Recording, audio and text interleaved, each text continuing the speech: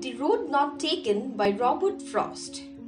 Robert Lee Frost, who lived from 1874 to 1963, was an American poet.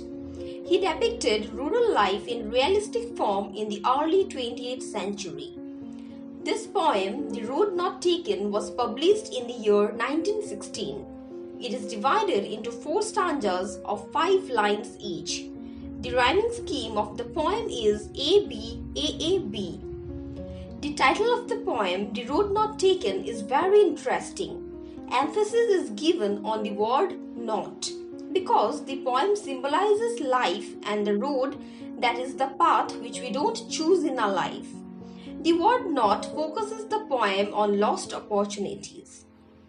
The poem describes the inevitable choice. It begins with a dilemma.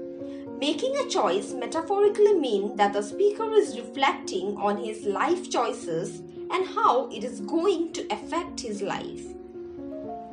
Let's read the poem. Two roads diverged in a yellow wood, and sorry I could not travel both. And be one traveler, long I stood, and looked down one as far as I could to where it bent in the undergrowth. Poem begins with a dilemma that is a confusion. The speaker, while walking, comes to a fork in the road. That means a diversion where a road is separated into two different directions and thus has to decide which path to follow. Wood here means forest and yellow refers to the season of fall that is autumn. So we understand that yellow woods suggest the poem being set in autumn and the trees encountering yellow leaves evokes a sense of transience that one season will soon give way to another. Road is symbolic of two choices in life and the speaker finds it difficult to make a choice which will be best for him. The speaker gives a deep thought as to which road he must continue and sees one of the roads disappearing in the undergrowth. So, in this stanza, we understand that the narrator's choice about which road to take represents the different choices we sometimes have to make and how those decisions affect our future. Frost here tries to capture the uncertainty about decision making process and immense natural desire to know the outcome of the decision taken. Then took the other just as fair, and having perhaps the better claim, because it was grassy and wanted wear. Though as for that the passing there had warned them really about the same.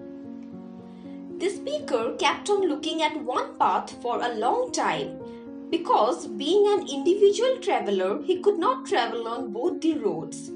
It suggests that before taking any decision, he wanted to check if it was the right path or direction for him.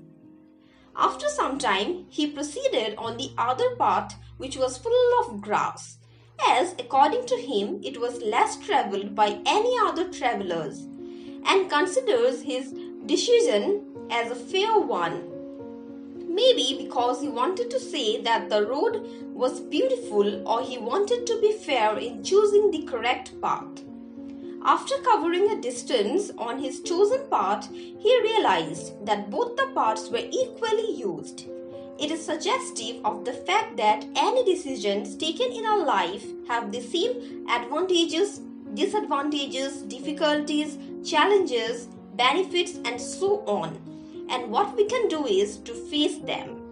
Wanted wear is a personification used in the poem as roads have no ones but humans have. Path here is personified that is given human quality. And both that morning equally lay, in leaves no step had trodden black. Oh, I kept the fast for another day, yet knowing how way leads on to way, I doubted if I should ever come back.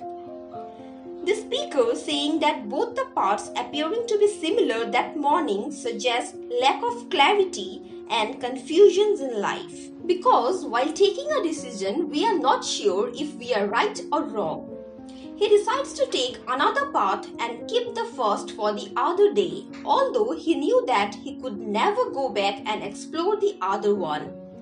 Similarly, in our life, once we choose an option, we have to keep on moving ahead with that, and we can never get a chance to come back and take the option which we left earlier. I shall be telling this with a shy. Somewhere ages and ages hence, two roads diverged in a wood, and I, I took the one less traveled by, and that has made all the difference. The last stanza challenges us to overcome obstacles and difficulties in life. It put forward a strong message that we should be wise while making decisions because its impact will be visible and will be realized after several years. In future, the speaker would say with a shy, because he will say once upon a time he had reached such a point in life that there were two options for him and he chose to move on a less traveled road and it had made difference in his life. Because we know that our future completely depends on the choice we make today. I hope you understood the poem well. Thank you